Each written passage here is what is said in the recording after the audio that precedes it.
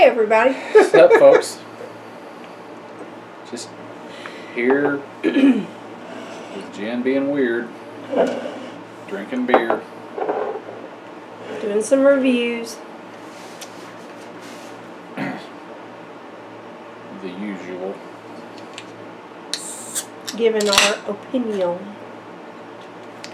Definitely Jen's usual. What? Well, yeah, I do. Yeah, you were gonna try and contradict me on that. No, I admitted to it. You were gonna be like, I keep my opinion to myself. And then we laugh. Now this one says it's a rosé, It smells rosy. but like, Like, why do people enjoy like rose. roses? Yeah.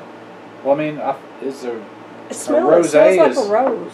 as far as wine goes, a rosé is like a mixture of white and red, right? Yeah, I don't like those.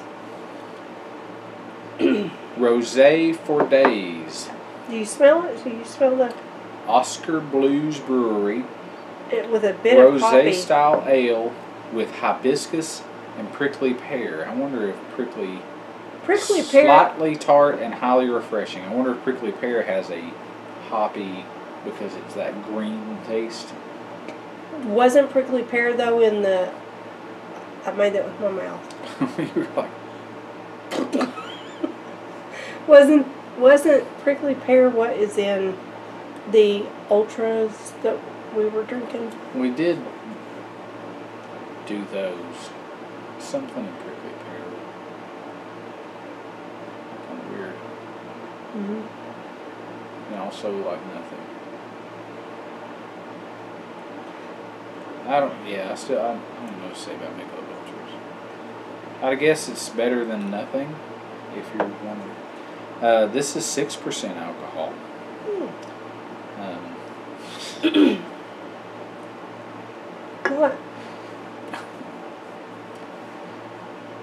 there, there are times when I'm just like, can't read you, don't know what's going on, and then there are times where like, I know you so well that when you go, hmm, I know like every thought going through your head that led to that. And it's a weird thing about being married for a while, I guess.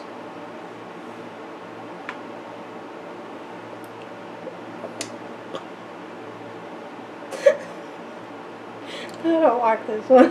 What is rose?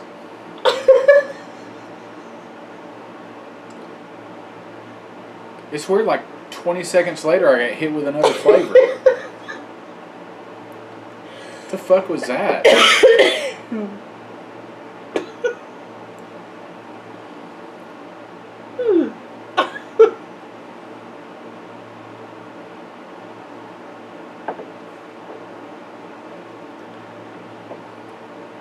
And it's a little hoppy. I don't like this one at all. Chunky. I have no words. It's weird. You go through a process when you, You drink do. this thing. Okay, I do have words. You start off with like a rosy, then you get like a mild hoppy with a bitter after. I get like, Chunky. good God, that was like five seconds, chunky. She's like, I'm gonna eat. Good, eat. You act like there's alcohol in your water. She stares at it. Cats. It's like you drink. First, I'm getting like a basic beer, to me, like a, like any kind of PBR, or whatever.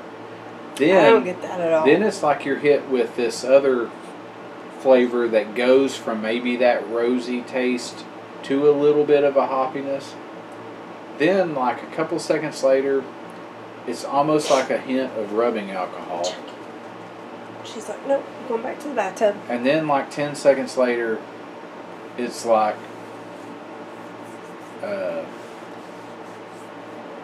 It's what I imagine like sucking on a pressure treated board would be like.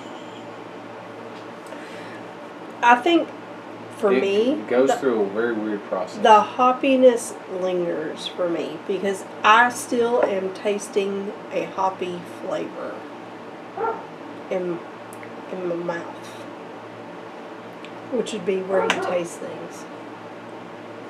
It's where I usually taste things.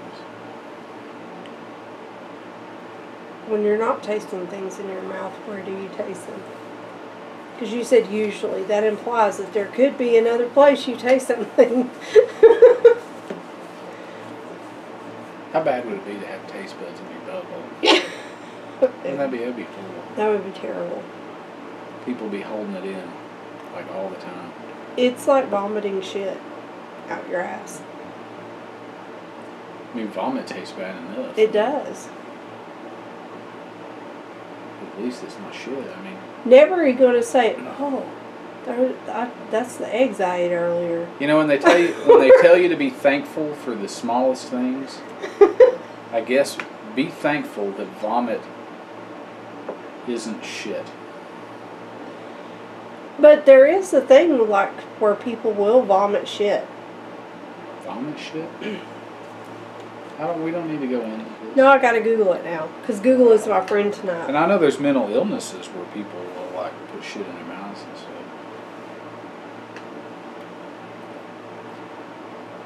I mean, how far does it have to come up? Fecal vomiting. Fecal vomiting is a kind of vomiting wherein the material vomited is of fecal origin. It is a common symptom of gastrojejunocolic uh, fistula and intestinal obstruction in the ileum. Fecal vomiting does not include vomiting of proximal, proximal small intestine contents, which commonly occurs during vomiting. I told you it was something. Can I ask a question though? Mm-hmm. Why do you know this? South Park. You don't remember when Cartman was vomiting shit? I remember when he was shoving hamburgers up his ass and then like shit came out of his mouth. Well, I googled to see if you could do that. Not shove burgers up your ass, but if you could vomit shit, you can. So you can thank South Park for that. Because I not- Goog- it caused me to Google it. It's not exactly the same thing. I wanted to know if you could really vomit shit. That is is something you can do. If you have this rare thing. Or unusual. It didn't say rare, unusual.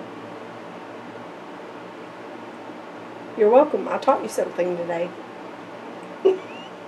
Probably taught a lot of people something today. It's probably something that no one wanted to know though.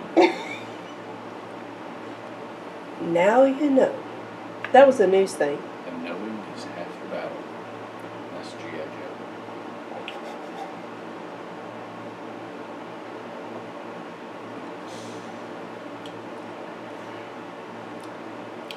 Not a fan of this one.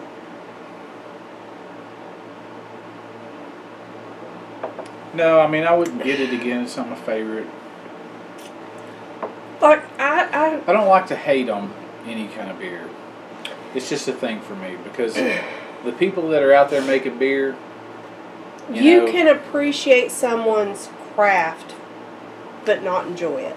yeah, and That is what I feel about this. And and you folks that are out there making more beer for the world, that's what I appreciate about you. Is that what you appreciate about them? That is, that's what I appreciate about them. But I'll take it down about ten to twenty percent.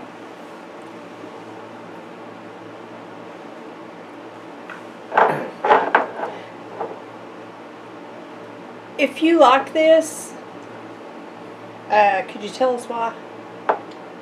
I guess when it's when you don't like something, it's hard for you to understand how somebody else likes it. Like I never understand why you like IPAs. You don't understand why I like Dr Pepper. Yeah, well, I mean, I tend to, as far as things that are, like taste is like ultimately subjective, and I tend to just accept that as is what it is. We're slacking on that tonight. Well, no, I thought I had maybe still something, but it was off. It would have been wasted. It was off. It was wasted. I could have done it your way. It was off. It was wasted. It was off. You should try again. What happened? That is Alexis on there. It's a good show.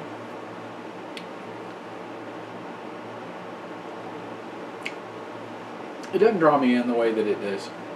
There's just there's a little bit of uh, something that really reminds me of like just drinking alcohol in the bathroom.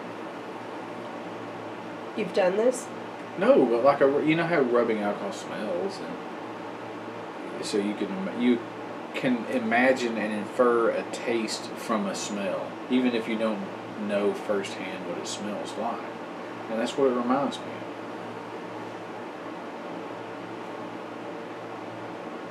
of. Okay. So I think at least I know for me it's a it's a it's a no. Yeah. It's a no.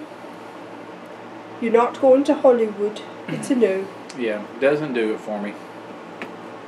Um, what was the? It did have a six percent ABV. I mean, so in a desperate situation, try and chug it.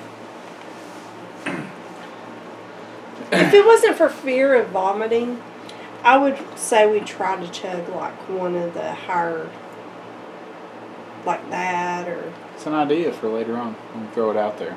a tart one. I mean, sometimes. It will not be a, a, a fast time, a good time. But sometimes you just need to get a little alcohol into your system. I mean, it's how we function most days. We're not alcoholics, I promise. but you know, there are times where just, you're just like, there's an edge, and it needs to be taken off, and the best way to take this edge off is to go ahead and get a little alcohol in the system. It doesn't have to be a ton. I'm not talking about getting shit faced. I'm just talking about let's introduce this into our system quickly. That's when like a chug or shot or something is like, you know, let's let's make this happen and then let's go on. I feel you. So sometimes, you know, a beer is 4% alcohol. Sometimes that beer could be 6.5% alcohol. How sharp is the edge? you know. Something to think about.